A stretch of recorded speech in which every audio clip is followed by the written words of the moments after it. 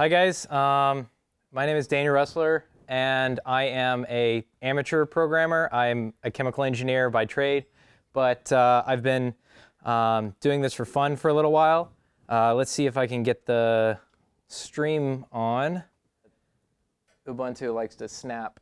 So right now what I have right here are two very, very cheap smartphones. And I'm going to try to um, keep them on. They might shut off mid-presentation. Can everybody see that? I'm going to increase the size a little bit. Um, yeah, yeah, yeah. We'll get there. That's what I told you it was going to take a little bit of time to set up since. So what happened a couple of months ago is Firefox Mozilla introduced their own operating system. And that operating system is basically Gecko. It's, it's kind of like Chrome OS. And so all of the apps, like this entire settings page, is HTML5. And one of the interesting things about that is that um, it allows all of the Gecko possibilities, all of the HTML5 possibilities, including D3, to be all of a sudden able to be composed on a, uh, on a very, very low-end phone browser. So I'm going to go into these phones. Let me adjust the brightness down a little bit. To, is that better? Oh, a little too high. Okay. Um, does that, can everybody see those kind of well? Yep. Awesome. Finally set up. Okay, so anyway, this is uh, this is basically taking a look at what how cheap is cheap. Oh, I should probably put that on. Always on top. Here we go. Good old Ubuntu. Okay. So how cheap is cheap? This phone right here is the um, is the AT&T Fusion 2, which is a 79. I bought it for $79, no contract, um, but you can get it now for about $70, so it's a little bit older. This Firefox phone is um, a ZTE Open, and it's also $79 when I bought it. Um, they want the left one has 512 megabytes of RAM, and the right one has 256 megabytes of RAM. So this is like the lowest end of GPS-enabled and uh, Android-enabled phones. And the weird thing about Android is they don't really cater to these phones at all, and so you're kind of stuck in the late 2.3 realm. And so I'm running CyanogenMod on, uh, on the Android phone right here, but you really can't run Jelly Bean or Ice Cream Sandwich or anything higher than that. And so a lot of these developing world phones um, are kind of relegated to that, uh, uh, to that later end status. So is SVG supported? So let's start out with the default browser. Um, hopefully I can reload this maybe, refresh. Okay, so go right here. Next is not supported, okay? But if I go to Opera, and then Chrome, of course, is only supported on 4 plus 0 on Android phones, so um, that's a problem. I wonder, I thought I had this bookmarked. Bookmarks, here we go. Um, okay, so I'm loading this again, and it works, hooray! And then, of course, Firefox works as well. And then on this phone, that was just a bookmark on the screen. So it also works. And so when, once you get into the Opera, Opera and uh, Gecko or Mozilla uh, based browsers on these low-end phones is when you start to actually have SVG access at all. Um, and so what can you do with that? Uh, first off, this is of course the uh, static chart. Um, now let's add some circles. So see where they start to lag out? So what I'm doing right now is I'm just adding a whole bunch of circles. See how it's starting to take a little bit of time in between when I tap the button. Same thing for the, uh, so this is just sheer number of nodes to see what it can handle. And it's around uh, 1,000 on the Firefox phone and about 500 on the, uh, on the Android phone. And keep in mind, the Android phone has double the amount of RAM that the Firefox phone does. So next up is movement. That's probably kind of. Um, so each one of these nodes is, has a transition attached to it as I ramp it up. So that's nine transitions, that's 25 transitions, etc. And so at 25, you're starting to see quite a bit of lag. 49 is getting really laggy. On the Firefox phone, it stays pretty good till you get it to around 160 or so. Okay, so keep in mind, again, half the amount of RAM. Um, so next up is force directed, and the crazy thing about these is they're they're definitely going to crash at some point. So I'll, I'll, definitely have to refresh these a little bit. Um, let's go back and see if we can get, yeah, there we go. Um, as we start to add in on the Firefox phone, that's one thing where the Firefox phone starts to lag out a little bit pretty early on. It's probably pretty comparable with the Android. So 25 is pretty just halting. Ah, there we go. yeah, this is uh, this is of course an alpha version of Firefox OS. So yeah, go ahead. Does GPU acceleration work on any phone, like the more high-end phone? Actually, yeah. So GPU acceleration works by default in Gecko. Um, and so Firefox, I think in Android also has it, but the problem is it's, you know, Gecko sitting on top of the Java virtual machine on top of the Linux kernel. So there's a whole bunch of layers in between, and there's a whole bunch of overhead with the phone itself. So the, the problem with this is that I didn't have time to, this is all one page, and so what I'm trying to do is I'm basically taking a, a script snippet, which is uh, a snippet of that is uh, when you look at the it's actually in a text box. And then I put it into the DOM and eval it is how I'm keeping the memory low. But the problem is you have to refresh the screen for the automatic garbage collection to, to go in and, and get rid of the existing memory. So when I added all those nodes, I think it, it builds up over time. So um, ideally, these would be separate pages, but oh well. Okay, uh, let's see here. Force directed. Nope, back. That's actually one of the biggest frustrations with these phones is their screens, and I'll demonstrate this a little bit, um, is, the, uh, is the touch precision on the screens is actually really, really terrible. Um, and so that's one of the things that I'm going to demonstrate is one of the limitations of these. I'm going to actually refresh this one so I can get rid of the, um, the junk in it. All right. So force directed. It's still pretty good. It's a. It's still a lot better for having half the RAM um, at around 25 nodes.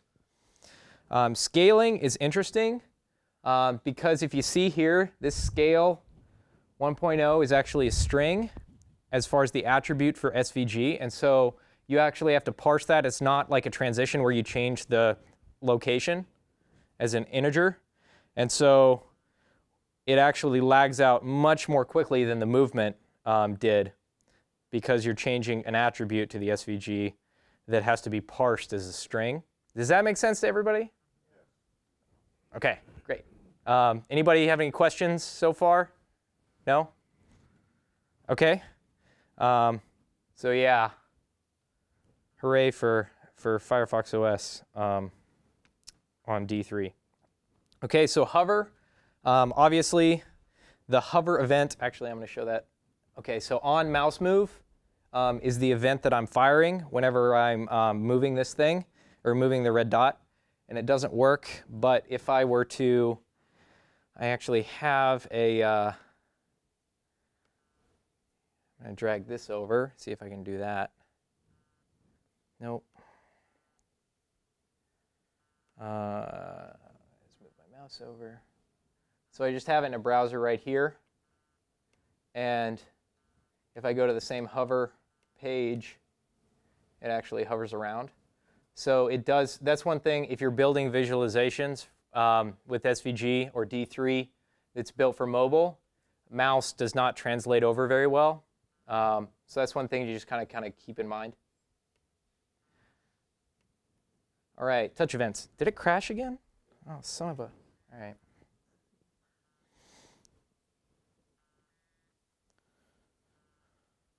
This is like a nightly build, so. Okay. Where were we? Hover. So what instead of hover you have to use is actually the touch. Um, so touch move. And so if you use touch move, it'll follow around um, your finger pretty well on Firefox. But uh, on here, it starts to lag out quite a bit. Um,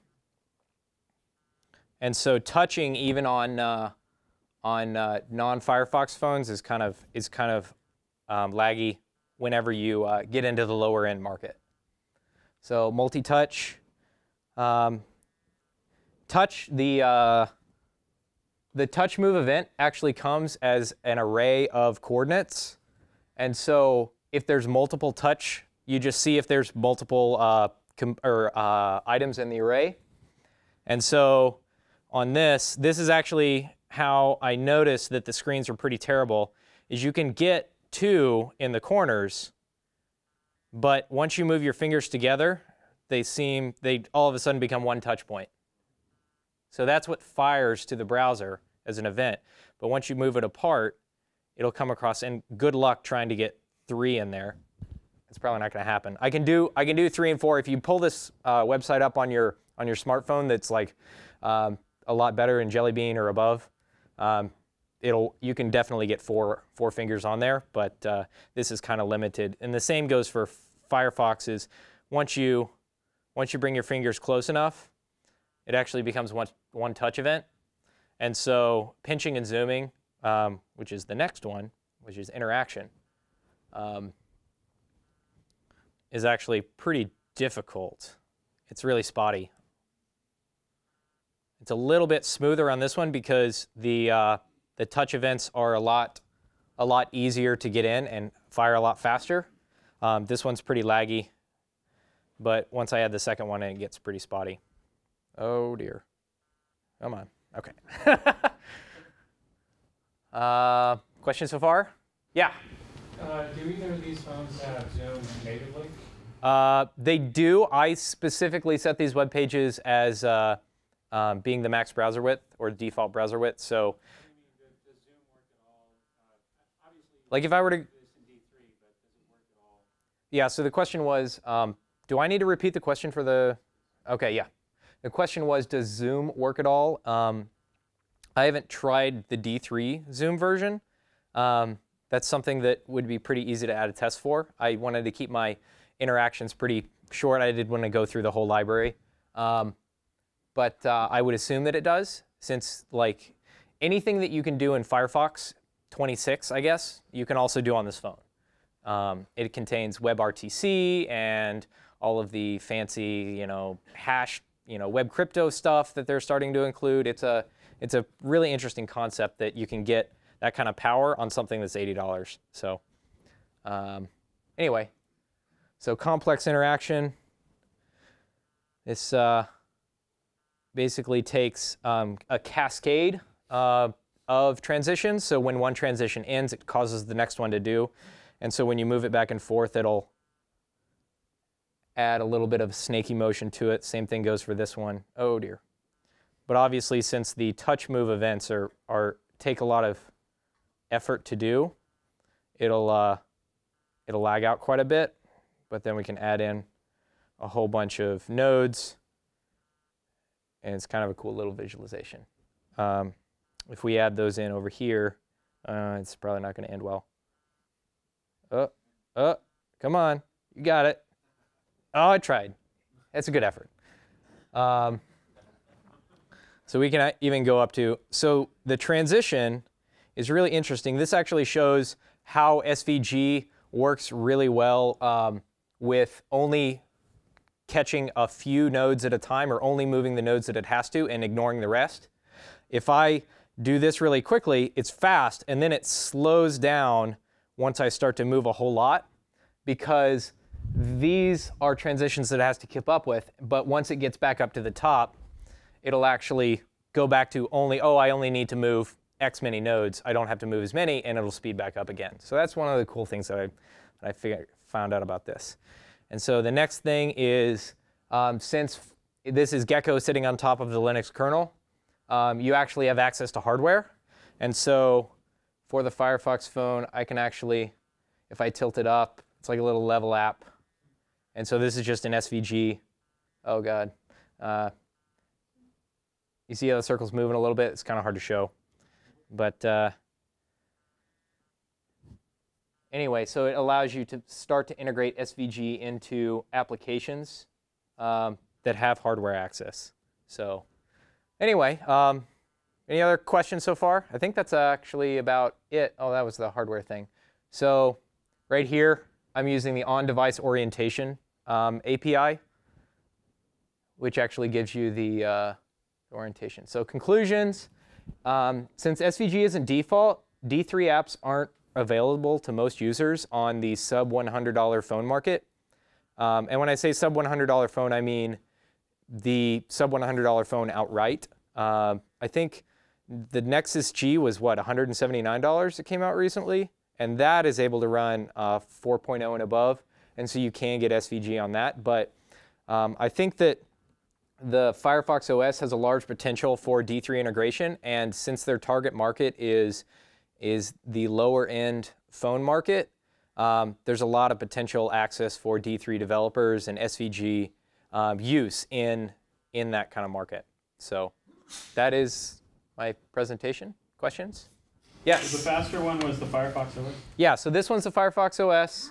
Um, and since.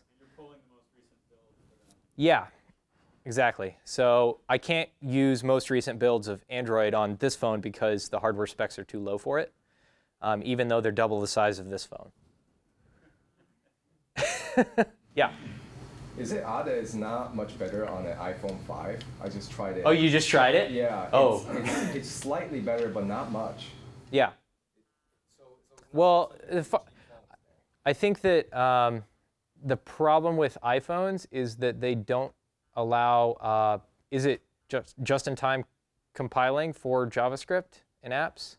I don't know if that's true or not, but I feel like the hardware acceleration for uh, for D3 um, is like for CSS transitions or, or movement or, or SVG updates. I don't know that that's very good in that. If somebody has a, a 4.0 phone and wants to come up here and slide it under here and, and show the difference, I would love to, if we're, we have time for it, but obviously. Yeah, come on. Uh, let me go back to the start can type in. The, yeah, yeah, let me grab it. It's right down there at the bottom. So it's my username, diafygi.github.io dash or slash d3cheap. Oh, sorry. I should have gotten a short URL. Um, anyway, any other questions?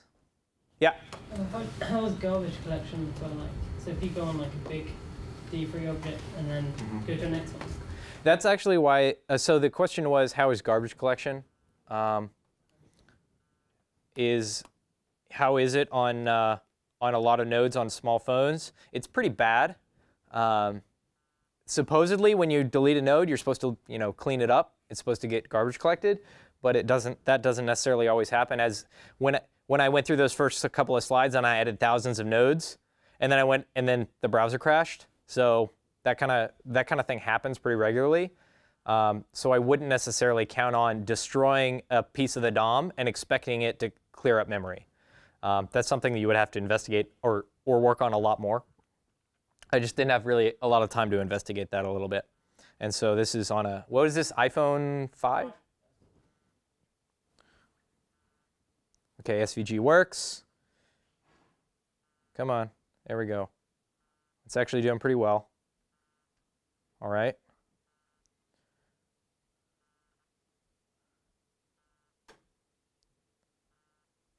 It's doing really well on the movement.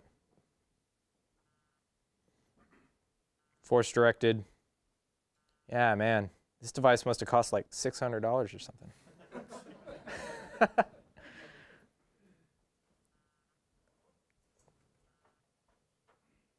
yeah, that's doing good. That's actually really, really good for this. Well, also it's Oh. bits, I think, the, the new iPhone. Oh, yeah? I don't know. Oh, God. What, what just happened there? Okay. We don't have any of that fancy copy paste stuff in. Uh oh. Oh, okay. It's. Yeah, that's really interesting. So even on the the touch move event. I don't think that's a performance thing. I think that's because you need to do something on your, like, to make it not respond and scroll Is there a way that you can get screens to not bounce up and I've down? actually been working on this recently. The, the old way was you actually had to say somewhere, I forget, viewport scrollable equals none or something like that. Okay, so And the Brand's- comment was for the. Brand spanking new, there's a full screen mode. Mm-hmm. Oh wow. Okay, It won't, it won't move at all. gotcha. Well, that that browser is Chrome also. Well, it's WebKit, but it's It's Safari. Oh, it's, this is Chrome? Oh, okay. Wow. Well, I should. Yeah. So who know? Yeah, it does use Safari's WebKit because, yeah, with this it's going to be hard to demonstrate those, unfortunately. And then of course it doesn't have access to hardware, but it was it was actually pretty good for the. Uh, here you go. Thank you. Um, pretty good for the uh, the scaling. That was impressive on that. So you could definitely tell that that was a more beefy phone. Um, any other questions? All right. Thank. Yeah. Do you have a particular, I mean, most people I know are always upgrading their phones. Is there a particular like app you have in mind that you're, you want to target these low end uh? I don't. Um, I I was impressed by Firefox's pitch, which was there's not really somebody trying to bring modern web technologies to the developing world, uh, because Android is not interested in developing for these very low-end phones that are going to be the mainstay of that world, um, and so you're not going to have, you know, HTML5 video and and all of that HTML5 fun stuff that we are now dealing with in in our world available to them except for like two years behind schedule, essentially. And so Firefox is looking to disrupt that. And, and by disruption, they want to use SVG or They, they just want to make all of the modern HTML technology available to lower end phones, um, which currently isn't there. So. Exactly. I mean, this is just a developer phone, but the idea is you want to have an operating system that is optimized for the 256 megabyte market. Okay? Thank you guys.